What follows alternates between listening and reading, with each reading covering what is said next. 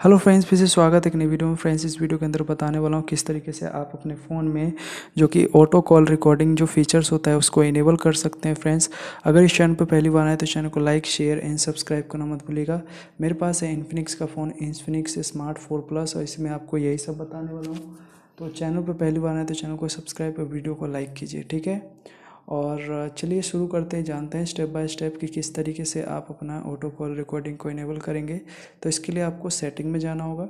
Setting में जाने के बाद आपको यहाँ पे आपको सर्च में लिख देना है। आपको सिंपली यहाँ पे आप चाहे तो इसमें माइक में भी बोल सकते हैं। ऑटो कॉल रिकॉर्डिंग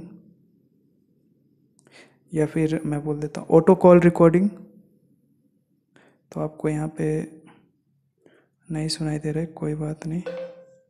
तो यहाँ पे ऑटो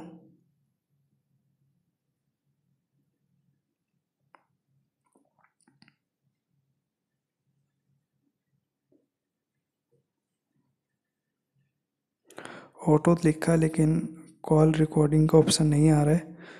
तो यहाँ पे नहीं दिख रहा है, कोई बात नहीं, इसको हम बैक कर देते हैं। अब हम जाएँगे सेटिंग पे। और यहाँ पे आपको इस पर क्लिक करेंगे तो आपको यहाँ पे ऑटो कॉल रिकॉर्डिंग का ऑप्शन देखने को मिल जाता है।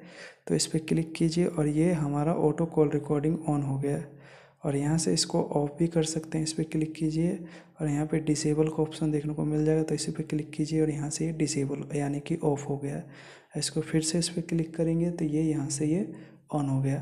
तो इसी प्रकार से आप अपने फ़ोन में इन फीचर्स का इस्तेमाल कर सकते हैं। ऑटो कॉल रिकॉर्डिंग को इनेबल और डिसेबल कर सकते हैं। तो फ्रेंड्स, कैसा लगा वीडियो? प्लीज़ कमेंट में ज़रूर बताइएगा। कोई भी सवाल हो, आप मुझे कमेंट कर सकते हैं। मैं डेफिनेटली आप लोग का रिप्लाई करूँगा। मिलते हैं नेक्स्ट वीडियो में। तब तक के लिए नमस्कार and good bye. Take care.